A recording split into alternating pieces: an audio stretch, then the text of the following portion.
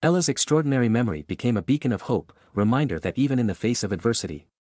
the stories of the past could light the way toward a better future, as the drought eventually gave way to abundant rains, Ella's legacy continued to thrive. Covey took on the role of sharing the stories and memories, passing down the wisdom he had gained from Ella to the next generation. And so, the tale of Ella's echo lived on, reminding all creatures of the savannah that the bonds of memory and the power of shared experiences could shape their world in extraordinary ways, and so, whether beneath the scorching sun or the gentle moonlight, Ella's memory and the stories she shared would forever echo through the hearts of the savannah's inhabitants, a testament to the enduring strength of knowledge and the lasting impact of a single remarkable elephant.